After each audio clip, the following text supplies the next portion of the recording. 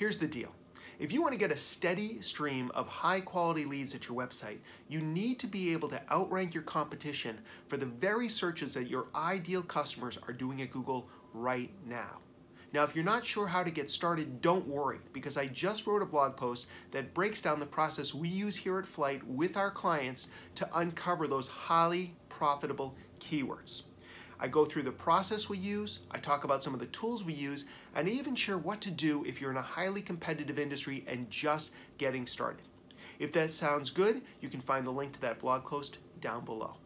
Thanks.